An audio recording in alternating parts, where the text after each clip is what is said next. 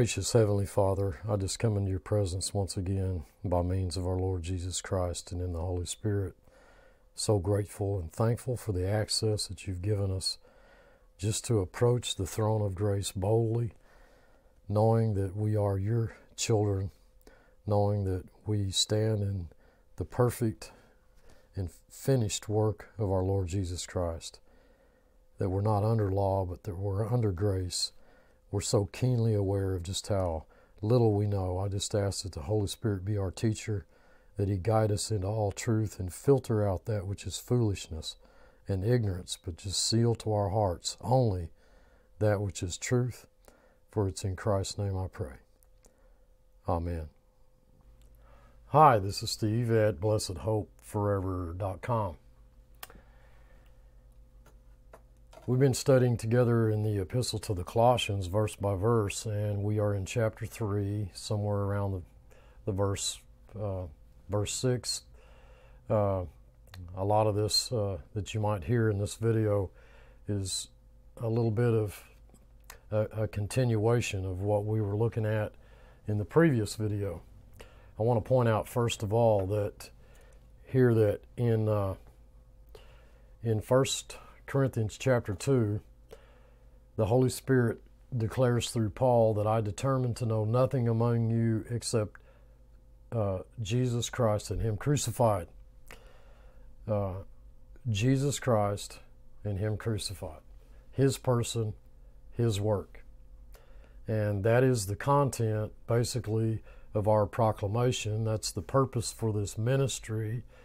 That is the message that we preach the person and the work of our Lord Jesus Christ. That is what we are to preach. Um, we don't preach uh, on things, we preach on a person the second chapter of our study here in Colossians, it ended with the fact that law will not work. If you've died with Christ, and we have, it's a first class condition in the Greek. Uh, many of you are be- becoming familiar with the first class condition. Since you died with Christ from the elements of the world, or if, or if you'd prefer in the Greek, if you've died, and you have, from the elements of the world system. And I pointed back to Galatians, and, and I showed you in the fourth chapter that the world system is an ecclesiastical system. So don't be amazed that the world hates you. You know, it it hated Christ. It'll put you out of the synagogue thinking it does God's service. It'll put you to death thinking it's doing sacrifice to God. The world system is an ecclesiastical system. It isn't the common, um, the slang term that's used by most Christians. The world is everybody that, you know, doesn't live like you live. The world is the ecclesiastical system or the religious system. In the book of Revelation, the Apostle John was amazed. He was absolutely amazed that the world system was dripping with the blood of the martyrs. Why was he amazed? Because it was the current system, the ecclesiastical system, the religious system that was martyring the members of God's family. That's the world system. If you died with Christ from the elements of the world system, why, as though deriving or living from that system, are you subject uh, to ordinances? touch not, taste not, handle not. These are men's ordinances. Don't you know that, that they perish when you die? They're of no value whatsoever in glory. They're of no value now, which have no value in satisfying the flesh. The flesh profits nothing. We don't live by rules and regulations. We live by grace. We live by faith. So if law won't work, what will? And Galatians tells us if, if you have not died to the law, you cannot live unto God. If you have not died to the law, you cannot, cannot live unto God. Are you so foolish, having begun in the Spirit, are you now made perfect by the flesh? and it's it's been it's been it's been interesting to me how that over the past 33 some odd years I've yet to hear an honest sermon preached on those verses. If you haven't died to the law, you can't live unto God. And, and we began uh, in chapter 3 if then you be risen with Christ, another first class condition, since we've been risen with Christ, seek those things which are above, where Christ sits at the right hand of God. And I pointed out that our, our Lord Himself said, Seek ye first the kingdom of God and his righteousness, and all of these other things will be added unto you. And well, so now I guess I spend the rest of this video, or I spend a half hour, 45 minutes or more, telling you how you, you, you uh, should diligently strive to be just as righteous as God is. When it says his righteousness, his righteousness is Christ. Seek ye first the kingdom of God and the person and work of Christ, and all these other things will be added unto you. I mean, surely God's not telling you to seek to be as righteous as He. His righteousness is not any effort on your part, but it, it is the person and the work of the Lord Jesus Christ as it's been applied to your life.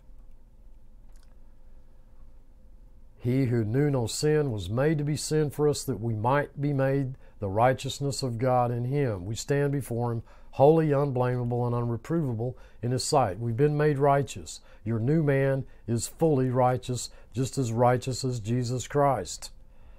And now we have the urging of the Holy Spirit that our attention should be settled on things above. What are the things above? Is that everything that I want?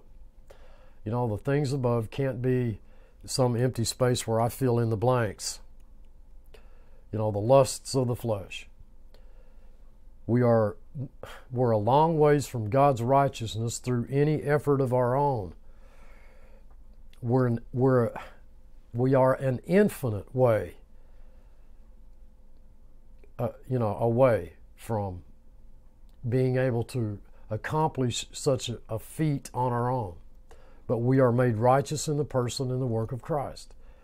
The things above are those encompassing where Christ now sits, the person and the work of Christ. The text is telling us, folks, here that where Christ sits at the right hand of God, he's sitting, he's not working. Means his work is finished. Christ declared on the cross, It is finished. He was referring to his work being finished. And that work's been applied to our lives. He's at the right hand of God. We should understand what these idioms here are, are saying. Uh,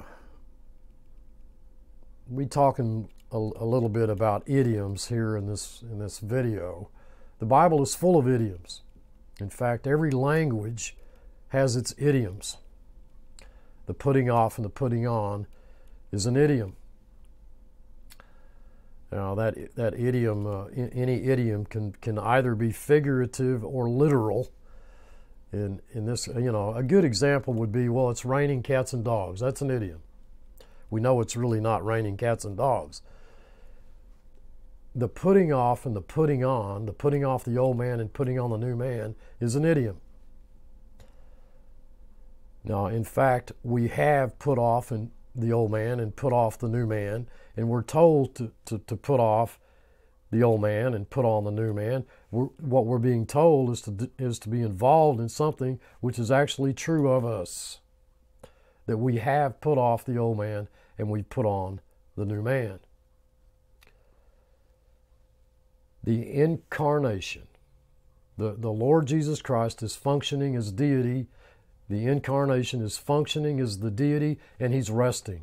He's sitting because his work is finished. And when he rises again, it'll be in judgment. When God speaks again, I, hear people say all the time, Well, God spoke to me. God doesn't speak to you apart from His Word. The next time He does speak, it's going to shake the heavens and the earth. I am persuaded that most Christians do not comprehend the simple truth that Christ's work is finished for us. The text says, Ye are complete in him who is the head of all principality and power. And, and, and we've come to our present study, the putting off of the old and the putting on of the new. And just about every sermon that I've heard preached on this has planted the dead seed in Christians' heads that putting off the old man is cleaning up the old man. So we look at all this stuff and we we've got to we've got to get to work. That's not what the Holy Spirit is showing us here. And that, and that putting on the new man is basically equivalent to cleaning up the old man. You know, folks, if we were able to clean up the flesh, dress up this old rotten corpse, the flesh, which profits nothing, if we were able to clean up the old man, which we're not, then what need would there be to put on anything? That, that, even that doesn't make sense. The very thought doesn't even make sense. All God would have had to say was just just clean up the old man. You know, forget trying to put on some new man. So the truth concerning the two natures doesn't even enter the believer's head. It's primarily the believer today is primarily uh, in ignorance over the fact that that he possesses two natures and that there's a conflict he stands in, in the middle of a conflict between these two natures because law teaches that you're only some single natured individual in which you clean up the old man. And that is, folks, that is one of Satan's glosses. Satan wants you to seek to be as righteous as God in the old man and not realize that you are righteous in Christ in the new man. Dearly beloved, the text is telling you and I to live as though as those who have put off the old man and put on the new man. That it's the new man wherein the Father and the Son and the Holy Spirit, the very fullness of the triune God, resides. Not the old man. That's why that you were made a new creation in Christ. You couldn't have remained a single natured individual. You had to be to, to be made a new creation in Christ given a new nature, a sinless new nature, in which Christ could reside because he can't be tainted, he can't be touched by sin. And that's the nature in which we function out of. That's, that's why we were made a new creation in Christ. That's why all old things have passed away and all things have become new.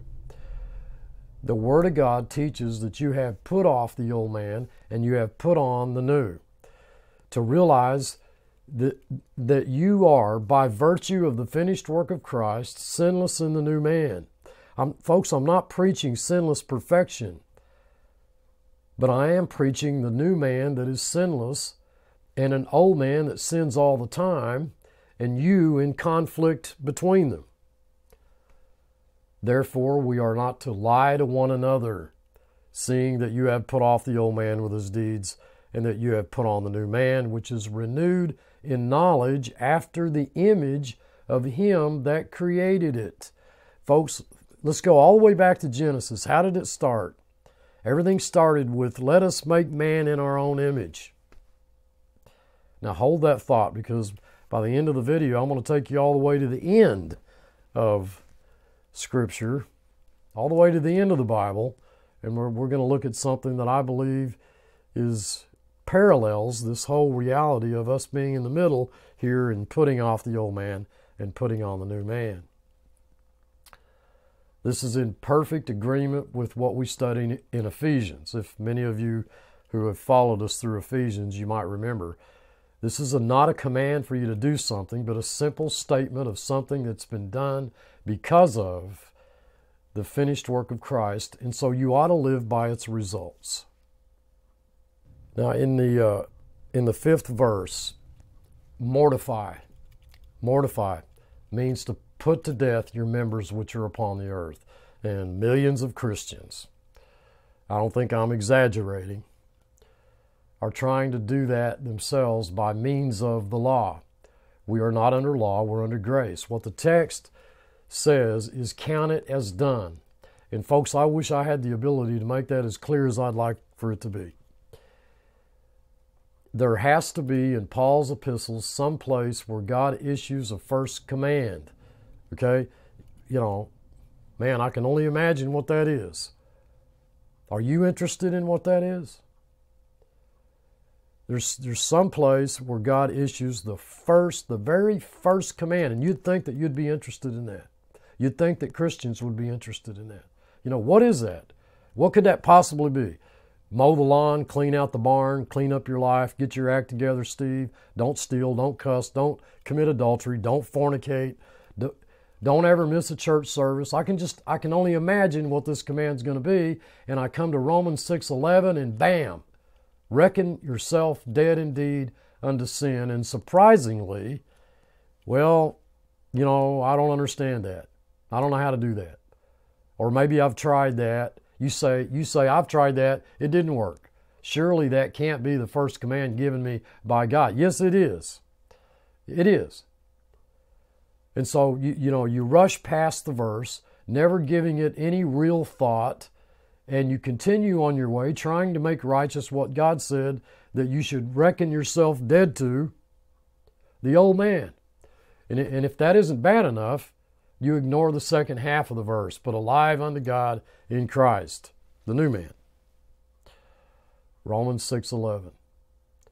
A putting off the old man and putting on the new man, the very same thought that we are studying right here in chapter 3 of Colossians. And since that's the first imperative used by my loving Heavenly Father, it, it's got to be, it must be a, a supremely important. The very first thing, the first thing God wants you to, to count as true, and most Christians, you know, well, they just wish that was true.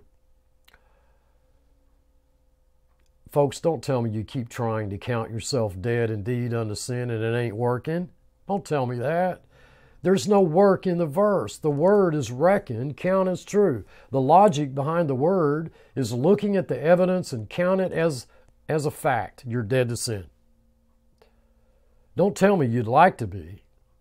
That, you know, one of the longings of your life is to finally reach a some you know, a plateau, you know, where you'd be pretty close to dead to sin. Listen, dearly beloved, you are dead to sin and you are alive unto God. Reckon yourself as that. Romans 6:11. And that ties in directly with what we're studying here in the third chapter of Colossians in putting off the old man and putting on the new.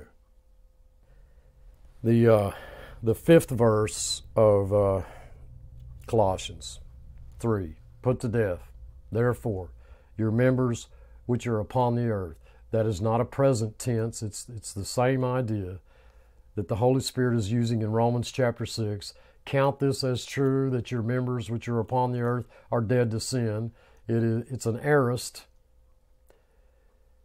It's never ceased to amaze me over the years how even pastor friends of mine say, you know, well, look, Steve, if I preach that to, to my congregation, they would go out and they'd just live terrible lives. And I always look at them and I say, Your congregation's already living terrible lives. Putting you under law may on the outside, folks, whitewash some filth, but it won't redeem you, it will not regenerate you, and it certainly will not grow you. I've got friends who, who absolutely agree with me that we're not under law as it pertains to regeneration, redemption, new birth, but we're now all of a sudden we're back under law as a, as a means of, of spiritual growth in our walk. That is absolutely not true. In fact, it's actually grace from start to finish. The author and the finisher of our faith. I have the authority of this book, the Word of God, to declare unto you that it will have no value as far as the flesh is concerned. Lie not one to another. And I've I pointed out, I believe, I hope I did in my last video, I've taken a vertical application of this passage primarily. But in I in no way am, am saying that there's no horizontal line. I believe the Holy Spirit is saying that if we're right vertically, we'll be right horizontally. But I also believe that if you are right horizontally, it doesn't necessarily mean you're right vertically. You might be outwardly performing all of those things and not even be a Christian. You know, a wolf parading in sheep's clothing. And so I have stressed primarily the vertical application lie not one to another, since you've put off the old man and put on the new.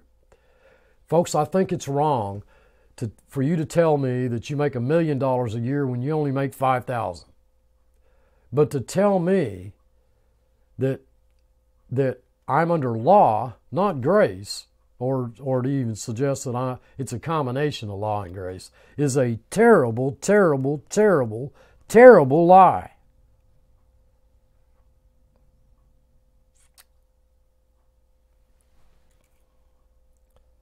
This is why I'm looking at this as spiritual. I believe the context bears that out.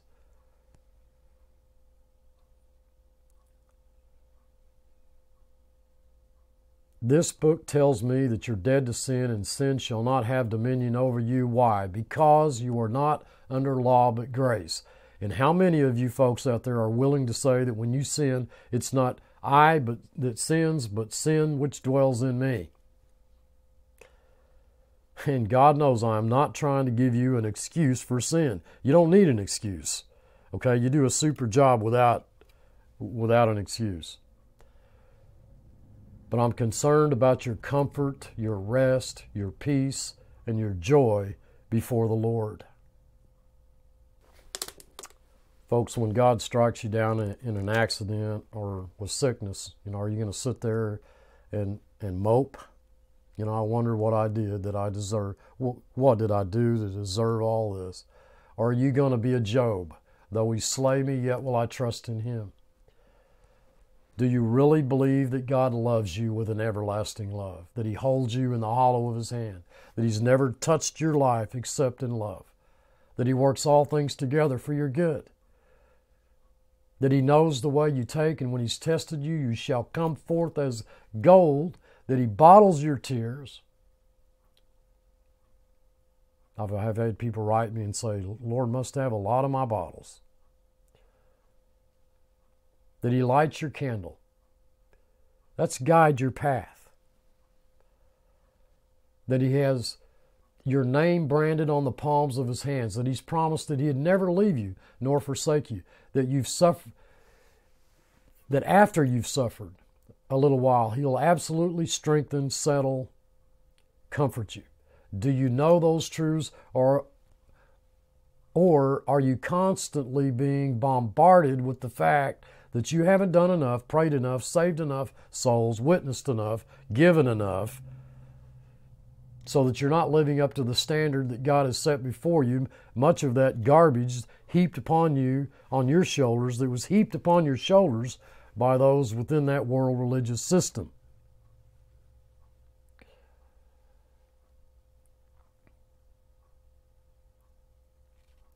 you know you you just you got a rotten christian life unless and unless you get whipped into shape you whip yourself into shape you'll never be of any value in the family in the household of god. We saw in the second chapter that god is involved in a great conflict for you in order that why? That your heart might be comforted. And very few christians have comfort Let's let's look at a few of these other awful terms here. You know, in the Greek. Uh, I I I question myself as to whether just to kind of gloss over all of this, but we do need to at least touch on it. Sexual immorality. Now, Figuratively, folks, that's idolatry, spiritual adultery. Impurity. Well, that's unclean. That's that that relates to the flesh. All of this stuff, I want you to, to note that it all has to do with the flesh, the flesh which profits nothing. Passion, that's that's emotion, lust, the Greek word desire, lust, evil. Evil, well, that's the word depraved, worthless. The old man is depraved, worthless. Are you getting this? Covetousness, which is idolatry. Anger, well, that's violent passion. Rage, that's outburst of emotion, passion. Malice, that's wicked disposition. And slander, blasphemy, which is, you know, blasphemy. That is, the word literally, folks, means you switch right for wrong or wrong for right. You call what God disapproves right, which exchanges the truth of God for a lie. Foul language, that's filthy communication. Anytime someone comes up to me and tries to put me under law, I look at that as filthy communication. Anytime someone gets angry at me, I, I, I go back to the, to the rage, outburst of emotion, the anger, violent passion. The, are you getting this? You know, look, folks, you can look at all this as purely physical or, you know, ver- horizontal, okay? I believe the context bears out. I think what the Holy Spirit, the thought that He's trying to convey here is, is that these things, we're looking at at, a, at a, a spiritual context, a Christian context, a fellowship context. We're looking at a, a context that involves itself around ministry. lying, to deceive by falsehood. And folks, every bit of this occurs every day in the context of Christian conversation and ministry. And keep in mind what God says about the law. What does He say about the law? He says that the law, the strength of sin, is the law, is what He says. Um, it's that verse I'll have to look that up. 1 Corinthians 15 The sting of death is sin, and the strength of sin is the law. But thanks be to God, thanks be to God, which gives us the victory through our Lord Jesus Christ. Therefore, my brethren, be ye steadfast, unmove, unmovable, always abounding in the work of the Lord, for as much as ye know that your labor is not in vain in the Lord. I pointed out that, that an idiom is, is a phrase or an expression that has it has a figurative or sometimes literal meaning. And there there's thousands. There's thousands. Well, I don't know. It could be, maybe there's millions. I don't know. That occur frequently in all languages, every nation, every kindred, tribe, tongue. Okay? We're looking at putting off the old man and putting on the new man, a figurative idiom which illustrates a literal fact. The concept is seen, folks, in both Old and New Testament verses. I want to bring to your mind uh, here a few verses. Uh, I want to read a, read a few here. I've got quite a few. It's amazing how many there are. I want to read. I've got to read a few. The, the following verses they bring clarity to this putting off and, and putting on. Romans 13 12. Let us put on the armor of light, but put ye on the Lord Jesus Christ, and make not provision for the flesh to fulfill the lust thereof. And of course, right here in Colossians 3 8, the putting off and putting on the new man. In Romans 13:14, instead, clothe yourselves with the Lord Jesus Christ, and make no provision for the desires of the flesh. 2 Corinthians 4:15 or 4:16 Therefore we don't lose heart though our outer self is wasting away yet our inner self is being renewed day by day.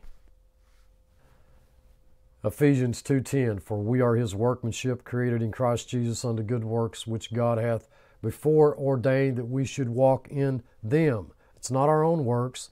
That's not the old man. That's the new. Ephesians 2:15 By abolishing in his flesh the law of commandments and decrees, he did this to create in himself one new man out of the two, thus making peace. Ephesians 4:22 to put off your former way of life, your old self, which is being corrupted by its deceitful desires.